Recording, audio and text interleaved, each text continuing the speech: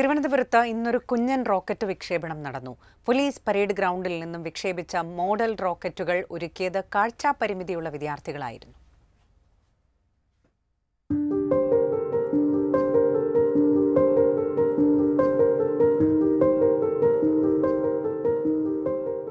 ഇത് മിഷൻ സ്പർശം വൺ.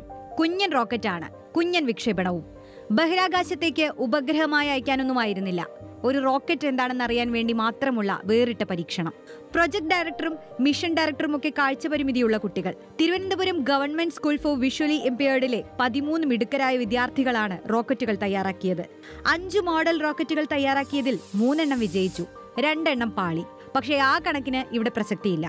ഞങ്ങളുടെ യു പി ക്ലാസ്സുകളിലുള്ള എല്ലാവരും കൂടെ ചേർന്നിട്ടാണ് ഉണ്ടാക്കിയത്. അഞ്ച് ആറ് ഏഴ് ക്ലാസ്സുകളിലുള്ള എല്ലാവരും ഇതുണ്ടാക്കിയപ്പോൾ എനിക്ക് എന്റെ ജീവിതത്തിൽ ആദ്യമായിട്ട് കിട്ടുന്ന ഒരു എക്സ്പീരിയൻസ് ആയിരുന്നു.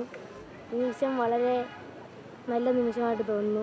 ആതിര പ്രീത റാണി എന്ന യുവ സംരംഭകയാണ് ഈ കുട്ടികളെ റോക്കറ്റുകളുമായി പരിചയപ്പെടുത്തിയത്. കാനഡയിൽ ബഹിരാകാശ യാത്രികയാവാനുള്ള തയ്യാറെടുപ്പിലാണ് ആതിര.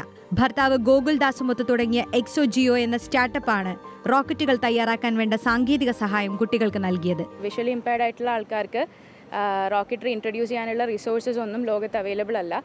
അപ്പോൾ അതിന് വേണ്ടിയുള്ള റിസർച്ചിന് ശേഷം ജനുവരി അടുപ്പിച്ചിട്ടാണ് നമ്മൾ റോക്കറ്റ് ലോഞ്ച് സ്റ്റാർട്ട് ചെയ്യുന്നത്. കുട്ടികളാണ് എല്ലാം ഫിൻ ഒട്ടിച്ചതും നമ്മുടെ ബോഡി ട്യൂബ് ഒട്ടിക്കുന്നതും എല്ലാ കാര്യങ്ങളും ചെയ്തത്. ഒന്ന് ഒത്തുപിടിച്ചാൽ റോക്കറ്റും ഉണ്ടാക്കാമെന്ന ആത്മവിശ്വാസവുമായാണ് കുട്ടികൾ പോലീസ് പരേഡ് ഗ്രൗണ്ടിൽ നിന്ന് മടങ്ങിയത്. ആ സന്തോഷം തന്നെയാണ് ദൗത്യത്തിന്റെ വിജയവും. ഏഷ്യാനെറ്റ് ന്യൂസ് തിരുവനന്തപുരം.